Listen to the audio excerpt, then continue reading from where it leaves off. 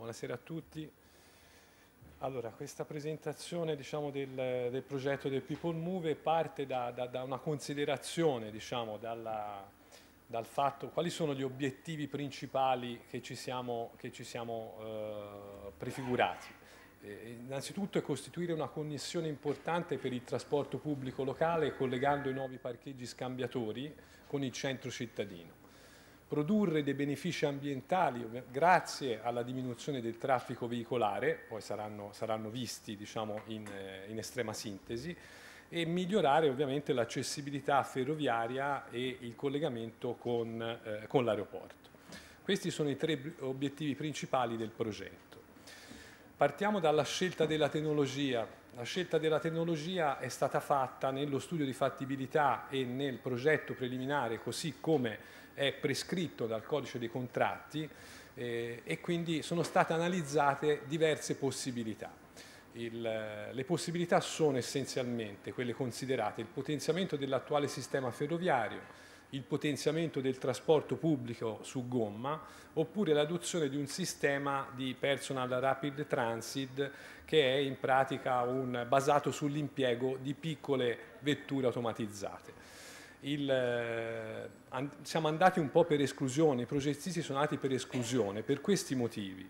Il potenziamento dell'attuale sistema ferroviario è stato escluso perché c'era la necessità per poter avere un incremento di frequenza eh, come volevamo eh, di ulteriori tracce ferroviarie, questo non era possibile. Inoltre con il potenziamento dell'attuale sistema ferroviario non era possibile introdurre una fermata in intermedia per i parcheggi scambiatori che invece abbiamo visto che sono fondamentali nella, uh, nella, nella logica diciamo, di tutto il sistema.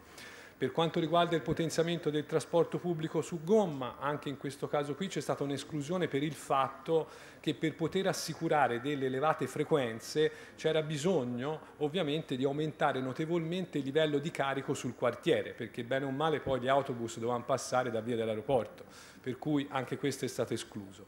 Il personal rapid transit è stato escluso perché essendo un, eh, un sistema che prevede l'impiego di piccole autovetture con capacità limitate, ovviamente eh, eh, c'era un allungamento dei tempi che non era compatibile con gli obiettivi che ci siamo prefissi. Nell'ambito, quindi è stato scelto diciamo, l'APM, l'Automatic People Mover, come sistema complessivo. All'interno diciamo, dell'APM eh, si poteva fare anche altre scelte. Eh, una delle, le, le, tre categorie essenzialmente sono la tecnologia a fune, la tecnologia con motore a bordo e la tecnologia con monorotaia. La scelta della tecnologia a fune deriva essenzialmente da due considerazioni. Una è la maggior capacità del sistema di trasporto eh, che risulta ovviamente legata alla frequenza e alle dimensioni dei veicoli e eh, al rapporto quindi fra passeggeri e metri quadri a disposizione all'interno del veicolo. Quindi questa l'APM eh, con tecnologia a fune assicura una maggiore capacità. E non ovviamente eh, molto importante era anche il risparmio economico del, eh, della tecnologia a fune rispetto alle altre tecnologie perché si sta parlando del 30% dell'investimento complessivo a parità di livelli che ci siamo detti e a parità anche di costi di manutenzione. Quindi la scelta nel progetto preliminare è stata quella del, di una APM con tecnologia a fune.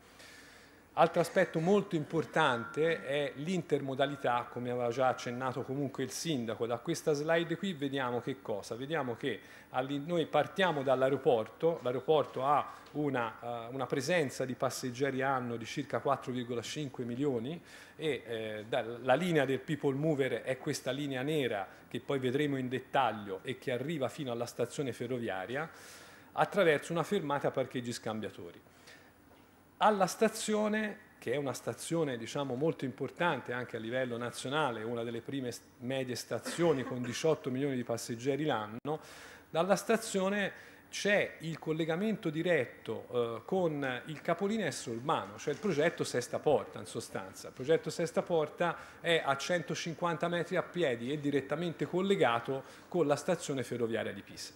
Dalla stazione poi si diparte che cosa? Si diparte l'asse pedonale l'asse pedonale che attraverso Corsa Italia, il Ponte di Mezzo, Borgo, Piazza dei Cavalieri e Via Santa Maria arriva fino, fino al Duomo.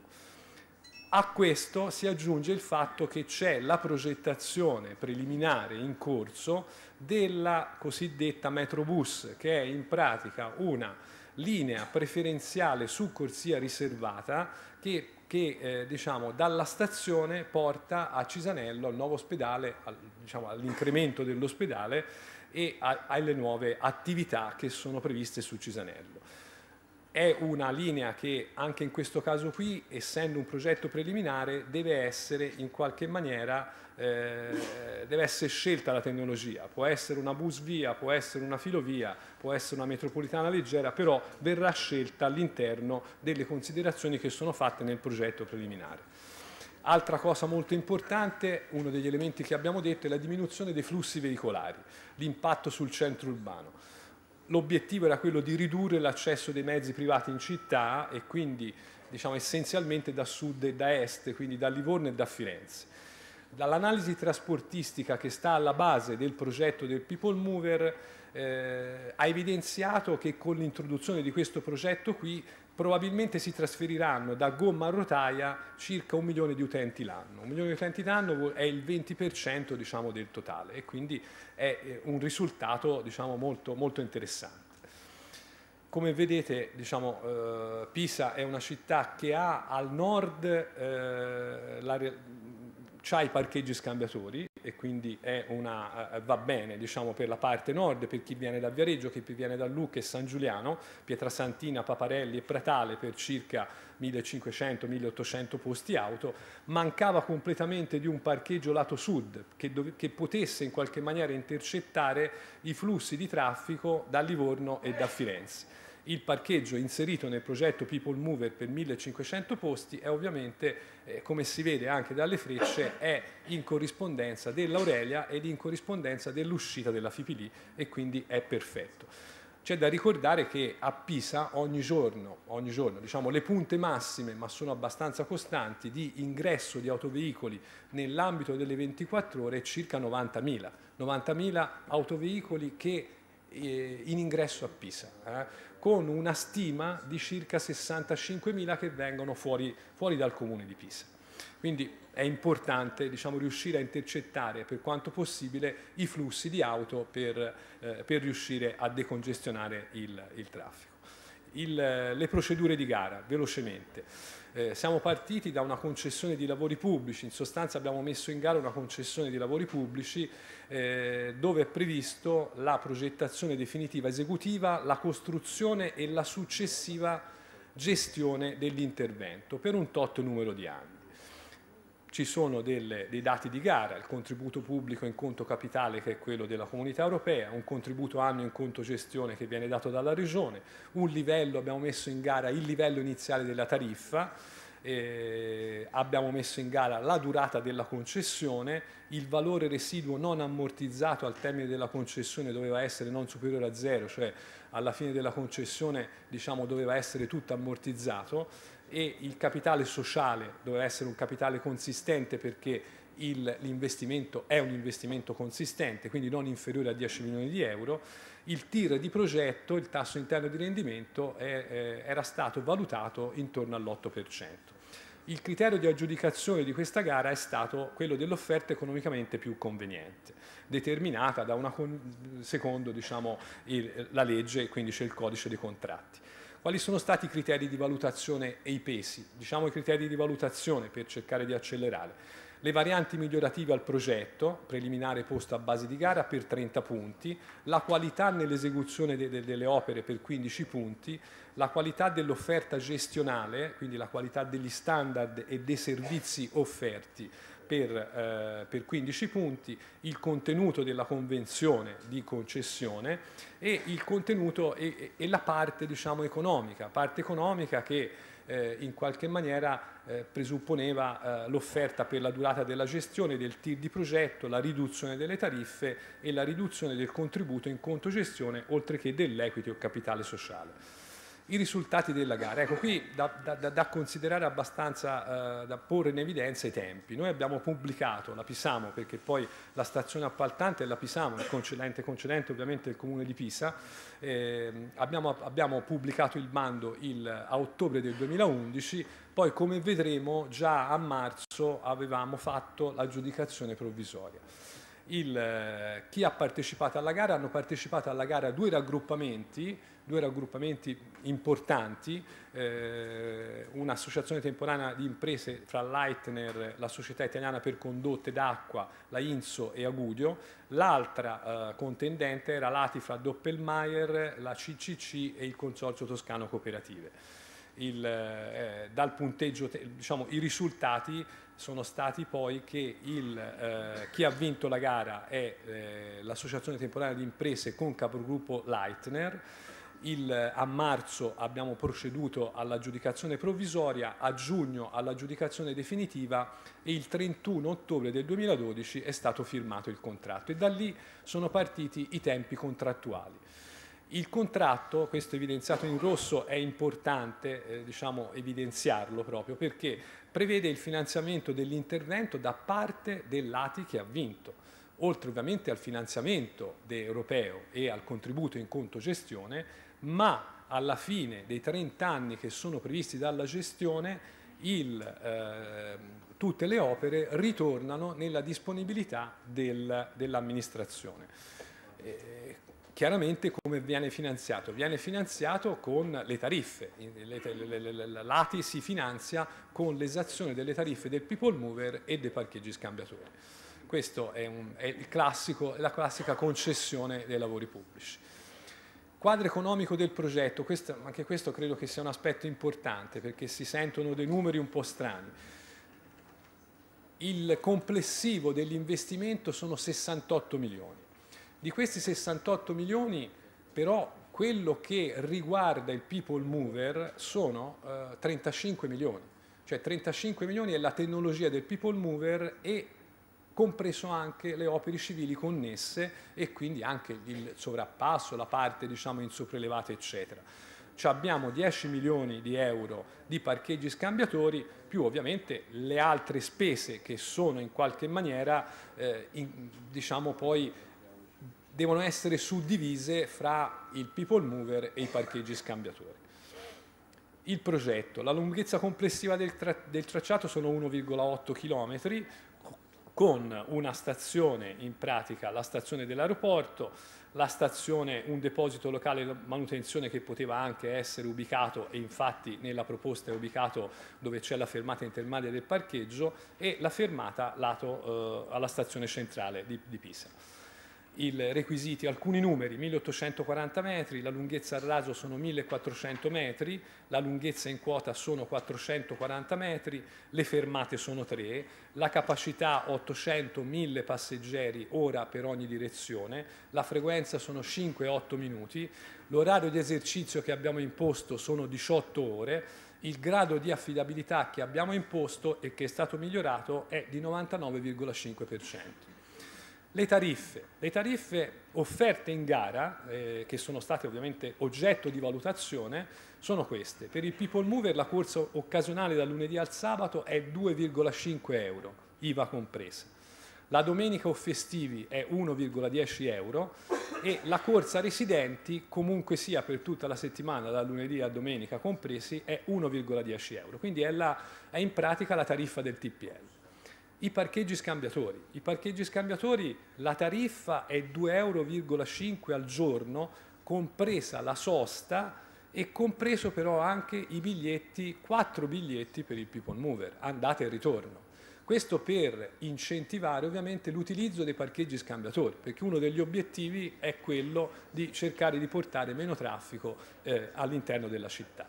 La domenica o festivi, come tutti gli altri parcheggi di Pisa, il, i parcheggi scambiatori sono liberi. È chiaro che a quel punto paghi perlomeno il biglietto del People Mover, e, che è 1,10 per, eh, per la domenica e per i festivi.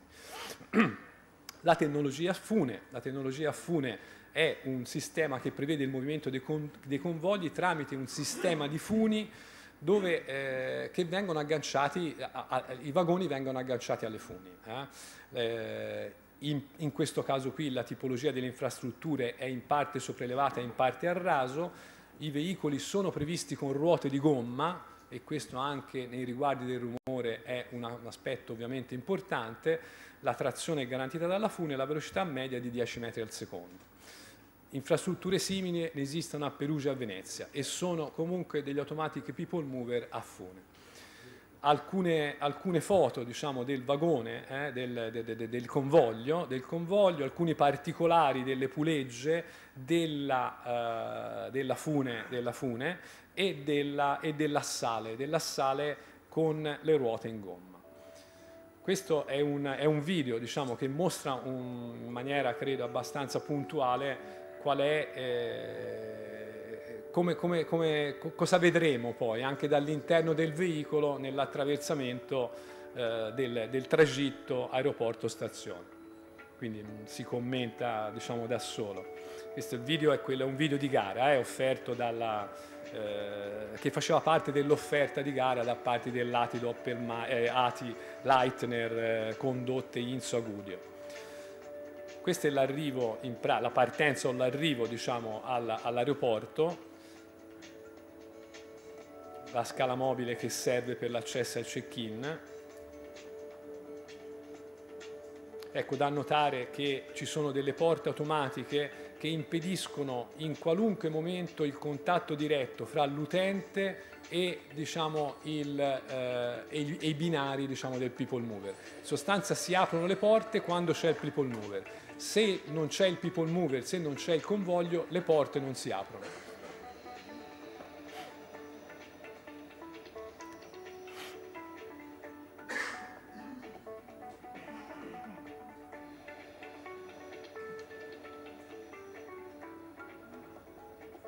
Questo è l'interno diciamo, del, dei convogli, questa è la, è la, è la, la FIPLI, il passaggio sotto il viadotto della FIPLI e c'è la fermata parcheggi scambiatori.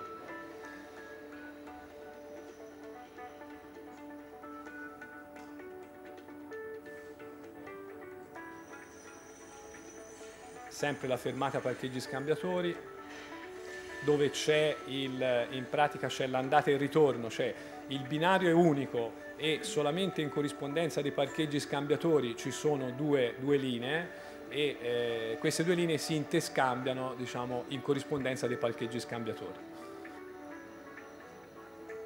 Le due linee sono indipendenti una dall'altra, cioè vale a dire le, la, diciamo, il trefolo, la fune, c'è cioè una fune per, eh, per, per, la linea destra, una fune per la linea di sinistra, in maniera tale che nel caso in cui ci sia un problema su una delle linee può andare comunque l'altro convoglio. Questa è la stazione, l'arrivo a Pisa Centrale, questo che vedete qui è il binario 14 e questo è l'arrivo del People Mover.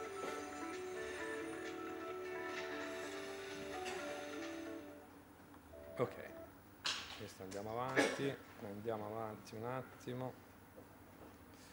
Vabbè, qui ci sono alcune slide, alcuni rendering che comunque avete visto, quindi si va velocemente. Fermate aeroporto, la, la, la sezione della fermata aeroporto, perché arriviamo, arriviamo, in quota, da notare come la quota della banchina sia alla stessa quota del, del convoglio eh, e questo ovviamente favorisce eh, chi ha roba pesante, chi ha il trolley, eccetera, eccetera, chiaramente è alla stessa quota e quindi non ci sono problemi di sorta la fermata dei parcheggi scambiatori. Perché questo ponte? Perché questo è un sovrappasso, è il sovrappasso ciclopedonale che conduce da un parcheggio lato est al parcheggio lato ovest. C'è un parcheggio di 500 posti lato ovest e un parcheggio di 800-900 posti lato est che sono messi in, eh, in comunicazione attraverso questo percorso ciclopedonale con ascensori e con rampe fermata parcheggi scambiatori, il, fer, diciamo, le pensiline eh, a livello diciamo, de, della fermata parcheggi scambiatori e questa è la fermata stazione centrale,